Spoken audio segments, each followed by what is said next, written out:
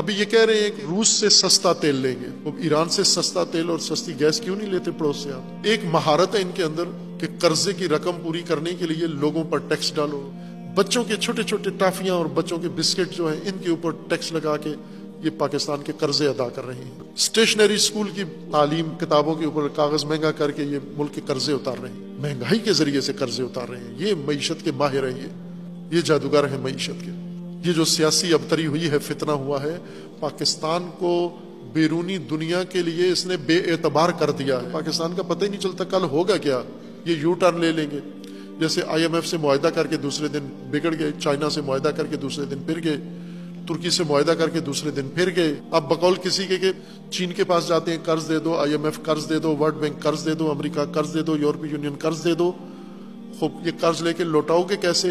कहते हैं, सऊदी अरब कर्ज देगा, फिर आपको लौटा देंगे। उसका कर्ज कैसे लौटाओगे तमाम इनहिसार कर्ज पर है। उस कर्ज के अंदर भी फिर टलते नहीं है। उस कर्ज के अंदर भी चोरी से बाज नहीं आते। ये सब नंगे हैं, बहुत गंदे हैं। और पाकिस्तान एक इस अजाब में मुबतला है।